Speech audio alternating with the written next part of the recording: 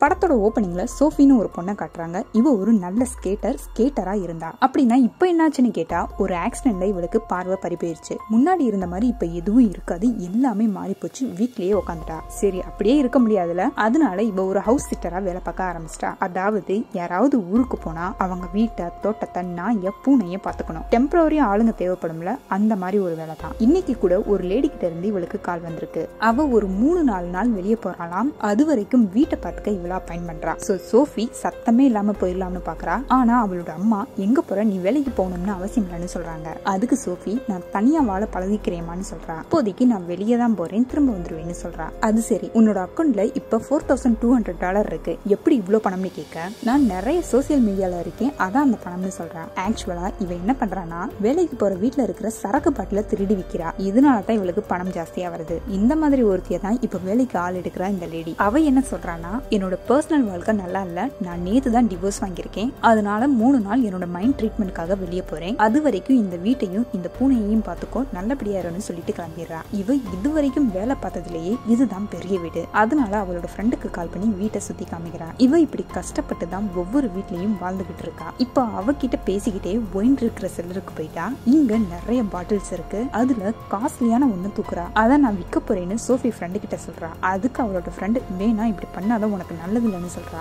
ஏற்கனவே என்ன பாவம் பண்ணியோ பார்வை பயிற்சி இப்ப இது மாதிரி பண்ணாதன்னு சொல்ல கடுப்பான சோஃபி அவளை திட்டிட்டு ஃபோனை வச்சிடுறா. இப்போ அம்மா கிட்ட இருந்து மெசேஜ் வருது. என்ன சொல்லியிருக்காங்கன்னா பார்வை இல்லாதவங்களுக்குனே ஸ்பெஷலா ஒரு சேவை தொடங்கி இருக்காங்க அதுக்கு ஒரு ஆப்பை இன்ஸ்டால் பண்ணணும். அதோட பேரு சி ஃபார் மீ படத்தோட பேரும் அதான். அதை இன்ஸ்டால் பண்ணா ஓலால கார் புக் பண்ற மாதிரி சி ஃபார் மீல பார்வை இல்லாதவங்க கால் பண்ணா சில கஸ்டமர் கேர் வீடியோ கால்ல பேசி கைட் பண்ணுவாங்கன்னு சொல்லியிருக்காங்க. ஒரு விதத்துல இந்த ஐடியா கூட நல்லா இருக்குல்ல? எல்லா நாட்டிலயும் இந்த வசதி இருந்தா சூப்பர் சூப்பராக இருக்கும். ஆனால் சோஃபிக்கு என்னவோ அந்த ஆப்பை இன்ஸ்டால் பண்ண பிடிக்கல. நமக்கு கண்ணு தெரியலன்னு வேற ரிஜிஸ்டர் பண்ணணுமான்னு யோசிக்கிறா. இப்படி கடுப்பாகி போறவ கதவை அசால்ட்டா விட இவ போனதும் கதவு லாக் ஆகிக்குது. வெளியே வேற குளிருது. விட்டா விரைச்சு செத்துருவா போல நல்ல வேலை போன் கையில இருக்கு. அவ ஹவுஸ் ஓனருக்கு கால் பண்றா. பட் அவ ஃபிளைட் ஏறிட்டா போல மொபைல் சுவிச் ஆஃப் சரி ஃப்ரெண்டுக்கு கால் பண்ணி ஐடியா கேட்கலாம்னு பார்த்தா கொஞ்ச நேரத்துக்கு முன்னாடி இவ தானே கட் பண்ணா அதனால அவ அட்டன் பண்ணல. என்ன பண்றதுன்னு யோசிச்ச இவ அம்மா கிட்ட பேசின பிரச்சனைன்னு அம்மா சொன்ன சி ஃபார்மி ஆப்பை டவுன்லோட் பண்ணி கேட் சப்போர்ட்டருக்கு கால் பண்ணுறா காலை எடுக்கிற முத பொண்ணு பேசுகிற முறையே சரியில்லை.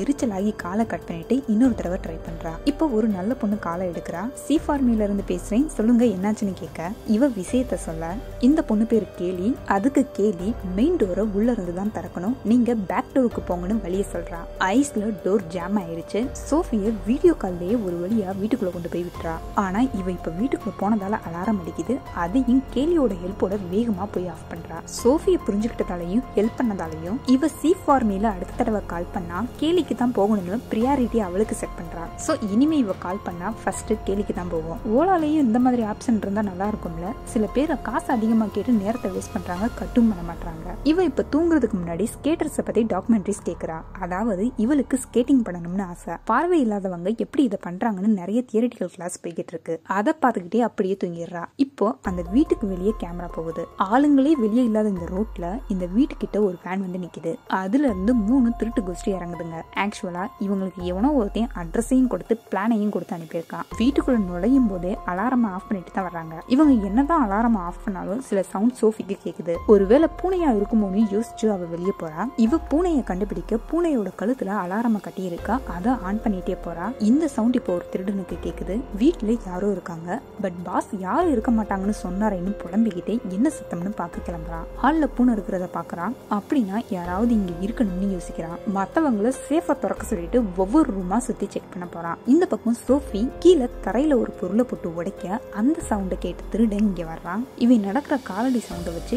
ஏதோ பிரச்சனைன்னு சோஃபி புரிஞ்சுக்கிறா. சவுண்ட் கேட்குற திசைக்கு எதிராக அவளோட மொபைலை தூக்கி போட்டுட்டு ஒரு ரூமில் போய் ஒழிஞ்சுக்கிறா அதுக்கப்புறம் மொபைலை எடுத்து உடனே போலீஸ்க்கும் கால் பண்ணிட்டா. அவங்க என்ன சொல்கிறாங்கன்னா இருபது நிமிஷத்தில் போலீஸ் அங்கே இருக்கும்னு சொல்கிறாங்க ஸோ இப்போ அங்கே இருந்துக்கிட்டே சி ஃபார்மியில் கேலிக்கு கால் பண்ணுறா அவகிட்ட நிலைமைய சொல்கிறான் அவளோட வீடியோ கால் பேசிக்கிட்டே போகும்போது கேலி உன்னோட வீட்டில் திருட்டு பசங்க வந்திருக்காங்க. ஒரு சேஃப் மாதிரி ஒன்று இருக்கு. அதை ஓபன் பண்ண பாக்குறாங்க. உடனே அங்க இருந்து வெளியே போக பாருன்னு சொல்கிறான் இந்த பக்கம் திருட்டு கோஷ்டியில ஒருத்தன் பாஸ் இங்க யாரோ இருக்காங்க. நான் அதை யாருன்னு பார்க்க போறேன். இன்னொருத்தையும் சேஃபாக ஓபன் பண்ணுறான்னு தகவல் கொடுக்க. இந்த பக்கம் சோஃபியை மூணாவதாக வந்த திருடன் பிடிச்சிடறான் அவளோட மொபைல பிடுங்கி வீடியோ கால கட் பண்ணிடுறான் அதுக்கப்புறம் அவளை மத்த ரெண்டு பேர் முன்னாடி கொல்ல போக. உடனே சோஃபி இதை பாருங்க. எனக்கு கண்ணு தெரியாது. நீங்க யாருன்னு தெரியாது. அதனால என்னை விட்டுருங்கன்னு விடுங்கன்னு கெஞ்சுறா. அதுக்கு ஒருத்தன் அவளோட மொபைலை பிடுங்கி பார்த்து போலீஸ்க்கு கால் பண்ணியிருக்க போலீஸ் வந்தா என்ன சொல்லுவேன்னு கேட்கறான் அதுக்கு அவ நான் பூனையை பார்த்து பயந்து கால் பண்ணிட்டேன்னு சொல்றேன்னு சொல்றா. நான் இப்படி சொல்லணும்னா நீங்க உங்க பிளான்ல என்ன சேர்த்துக்கணும்? எனக்கும் கொஞ்சம் கொடுத்தா போதும்னு அந்த திருட்டு கோஷ்டிங்க கிட்ட டீல் பேசுறா. இதை கேட்டவங்க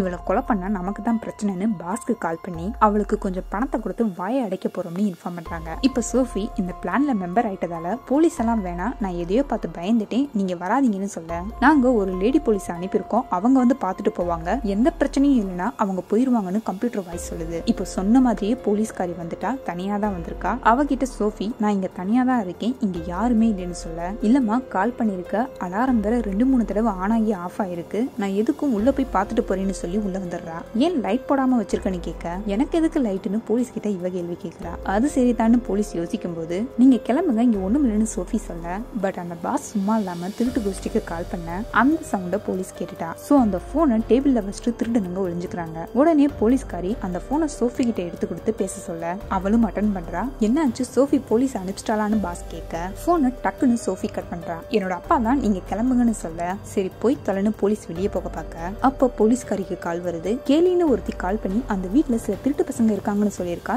ஏதாவது பேக்கப் வேணுமான்னு கேட்க ஒரு நிமிஷம் இருங்கன்னு மறுபடியும் சோஃபியை தள்ளி விட்டுட்டு வீட்டுக்குள்ள வந்து உள்ள யாருடா திருட்டு பசங்களா? வெளியே வாங்கடான்னு கத்துறா. அப்போ ஒருத்தி உள்ள இருந்து வந்து என்ன அரெஸ்ட் பண்ணுங்க சாரி நான் தெரியாம உள்ள வந்துட்டேன். நான் மட்டும் தான் வந்தேன்னு சொல்லி நிலைமையை சமாளிக்க பார்க்க. ஆனா போலீஸ்காரி உஷாராகி பேக்கப் அனுப்புங்கன்னு இன்ஃபார்ம் பண்ணிக்கிட்டே திருடனை பார்த்து கண்ணனிட்டேன் அப்போ இன்னொரு திட்டு பையன் வந்து போலீஸோட கழுத்தை நெரிச்சு கொள்ள அப்போ அவளோட கையில இருந்த கன் சோஃபி கிட்ட வந்து விழுகுது. சோ இப்போ அந்த கன்னை எடுத்துக்கிட்டு சோஃபி ஓடிடுறா. அதே சமயம் சோஃபி கிட்ட அவளோட மொபைலும் கிடைச்சிருச்சு. அதனால சி ஃபார்மி e மூலமா கேலிக்கு கால் பண்றா. அவ வேகமா ஓடி போடின்னு அவளுக்கு ரூட்டை சொல்ல. அப்போ ஒருத்தையும் வந்து அவளை பிடிக்க பார்க்க சோஃபியோட கையில கன் இருக்கா? சோ கேலி மேல தூக்கி சுட்டுன்னு சொல்ல. ஒரே ஷூட் தான் ஒரு திருடன் காலி இன்னொருத்தன் அவளை பார்த்து கத்திக்கிட்டே வர்றான். பட் இந்த சமயம்னு பார்த்து மொபைல் நெட்வொர்க் மக்கர் பண்ணுது. அவ சுடுன்னு சொல்ல இவளும் சொல்றா ஆனா புல்லட் திருடன் மேல படல. ஒரு வழியா நெட்வொர்க் சரியாயிட இப்ப சுடுன்னு சொல்ல சில புல்லட் வேஸ்ட் ஆனாலும் இன்னொரு திருடனும் காலி. இப்போ ஒருத்தன் தான் இருக்கான். அவன் வந்ததுல இருந்து சேஃபா ஓபன் பண்றதுலயே குறியா இருக்கிறதால என்ன நடந்துச்சுன்னே அவனுக்கு தெரியல. இப்போ சோஃபி அவன் கிட்ட போய் கண்ண நீட்ட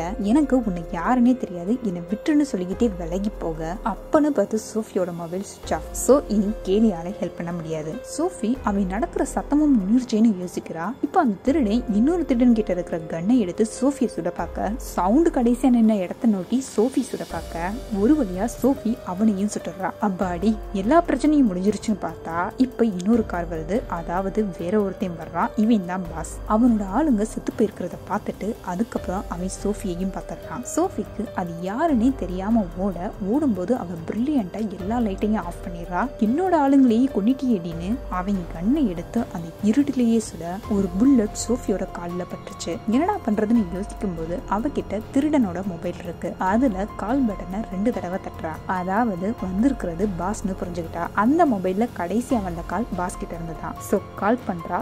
சவுண்ட் வர்ற திசையை நோக்கி இவ சொல்றா ஆனா மிஸ் ஆயிருது அதுக்கப்புறம் அவன் இவளை கொல்ல வர நல்ல வேலை அவ ஓடி ஒளியும் போது ஒயின் பாட்டில் அவ கைக்கு மாட்டுது. அதை வச்சு அவனோட மண்டையிலேயே அடிக்கிறா. அதுக்கப்புறம் மேலே ஏறி உட்காந்து எங்க குத்துறோம்னே தெரியாம கழுத்துல ஓட்டையை போட்டு அவனை சாகடிக்கிறான். சோ இப்ப பிரச்சனை முடிஞ்சு போச்சு. பேக்கப் போலீஸும் வந்து சோஃபியா ஹாஸ்பிட்டல்ல சேர்த்துட்டாங்க. அவளும் ரெக்கவர் ஆயிடுறா. இப்போ அவளோட அம்மா தான் சோஃபியா பாத்துக்கிறா சரி அங்க வந்த திருட்டு பசங்க யாருதான்னு கேட்டா எல்லாம் அந்த லேடியோட ஹஸ்பண்ட் தான். அவ டிவோர்ஸ் பண்ணதும் அவளோட பணத்தை கொள்ளையடிக்க பாத்துருக்காங்கிற மொத்த டிஸ்டையும் உடைக்கிறாங்க. இப்ப படத்தோட கடைசியில கேலியோட சோஃபி நல்ல ஃப்ரெண்ட் ஆயிட்டா திருட்டு பழக்கத்தை விட்டுட்டா. ஏன்னா அவ ஸ்கேட்டிங் பண்ண தேவையான எக்யூப்மெண்டோட பார்வை இல்லாட்டியும் சி ஃபார்மி நம்பிக்கையாக நம்பிக்கையா ஸ்கேட்டிங் பண்ற சந்தோஷத்தோட பட முடியுது. தேங்க்ஸ்